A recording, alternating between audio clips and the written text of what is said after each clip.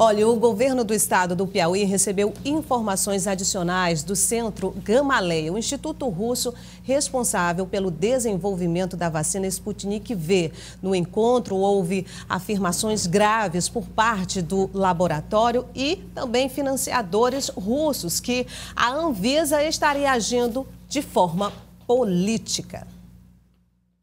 Da Sputnik V no Brasil.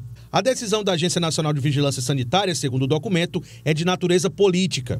E as alegações não teriam embasamento científico e nem poderiam ser tratadas com seriedade na comunidade científica e entre os reguladores internacionais. A nota diz ainda que nenhum adenovírus competente para a replicação foi encontrado em qualquer um dos lotes da vacina Sputnik V que foram produzidos mas reconhece que apenas um dos vetores adenovirais não replicantes do tipo E1 e E3, que são inofensivos para o corpo humano, seriam usados na produção da vacina Sputnik V. Ainda sobre as críticas à entrada da equipe da Anvisa em Moscou, o documento detalha ainda que a equipe da Anvisa em Moscou teve pleno acesso a todos os documentos relevantes, bem como aos locais de pesquisa e produção. Sobre a segurança e eficácia da Sputnik, segundo o documento, foram confirmadas em 61 reguladoras de países diferentes.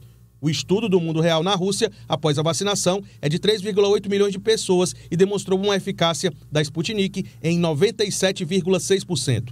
Ao contrário de outras vacinas, segundo o documento, não houve casos de trombose, seio venoso cerebral, durante o uso da vacina. O texto diz ainda que o governo da Hungria publicou dados oficiais comparando cinco vacinas usadas na Hungria.